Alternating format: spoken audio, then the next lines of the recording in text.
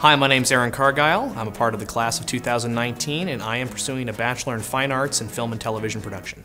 The uh, FTV major here is unique. It's uh, the best film program in the state, and it's one of the um, most hands-on programs in the entire country. One of the things that I really like about being an FTV major is that every day is a little bit different. Typically, my classes aren't until the afternoon, and I have pretty flexible work hours.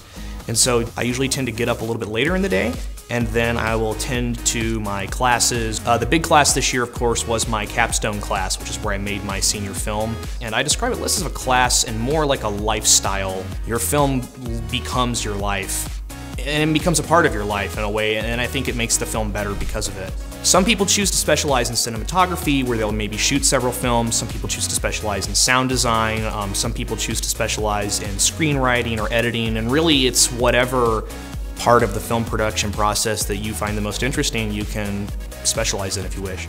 Every single step of your process is in service of the next step. And so no matter what uh, you're working on currently, you're not just working on pre-production to make pre-production good, you're working on pre-production because you want production to go well so that post can go well. Because ultimately that is the finished product that your audience is going to see. They are not going to see all of the effort that you put into the film necessarily, they're going to see whatever is on the screen, and you want that to be as good as possible. Documentary, since there's no script, right, and you don't necessarily have a, uh, a piece of paper that tells you what your story is, requires an intense amount of post-production which means you have to rewatch your footage many times, you have to make transcripts of interviews, you have to really like sit with that footage for a long time. Typically, um, in the evening time is when I usually sit down to do more of the hard film work film editing, for example. This is how I spend most of my second semester. Pretty much my normal workflow would be typically from maybe 8 o'clock until sometimes 3 or, 3 or so in the morning. But that was a personal choice that I made. There were other students who worked more traditional hours that just tended to be where I was most uh, constructive. Here at the University of Arizona, we learn about all the different phases of, of the production process, and we all kind of learn about what our favorite parts and maybe the parts that we want to specialize the most in. No one person can do everything.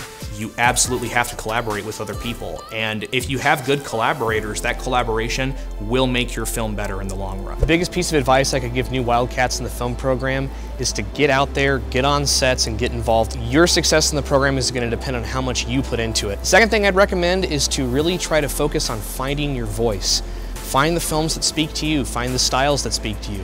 College is a time you can experiment with different cinematic styles and different ways of making things so that when you get out of it, you can really try to find the aesthetic or the, uh, the area of film that speaks to you the most. Hi, my name is Aaron Cargile, and this has been a day in my life.